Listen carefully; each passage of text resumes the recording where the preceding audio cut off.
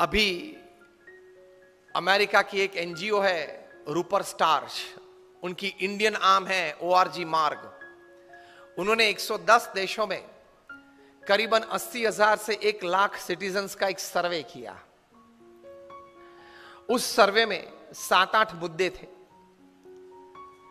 Basically the concept of this survey was how actually people are happy in life what are the factors that actually make a person happy in life?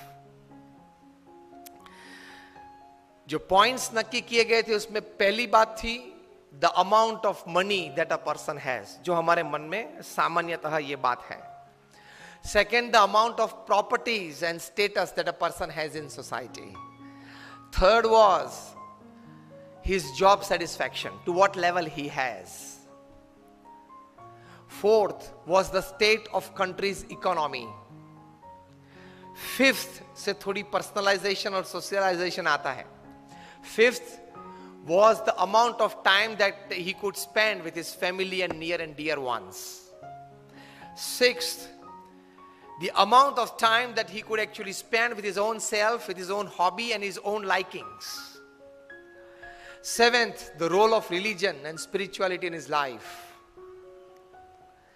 And eighth, the physical, mental, and the emotional state of health that he enjoys in his life.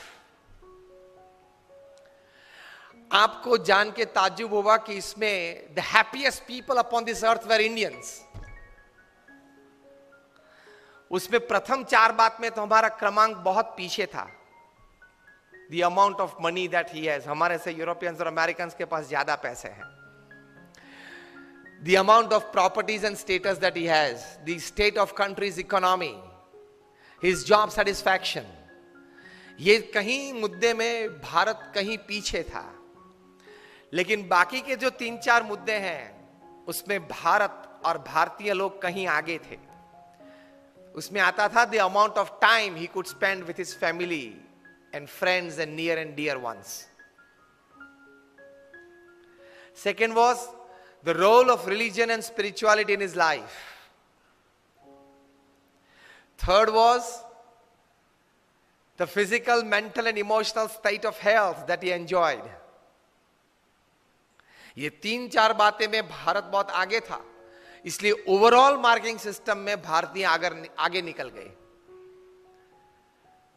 And they concluded in the report that Indians were the happiest person upon this earth तो अगली जो चार बातें, उसमें materialism स्थूल भाव है।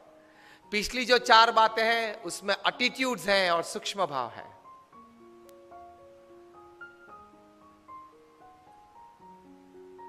आगे की जो चार बातें, उसमें मटीरियलिज्म है। State of country's economy and money and status और स्थूल भाव है। पिछली जो चार बातें, उसमें ऐसा कोई स्थूल प्राप्ति नहीं है। It's just attitudes and thinking in your life कम कर दिया it's just attitudes and thinking in your life which is more important वो ज़्यादा इंपॉर्टेंट है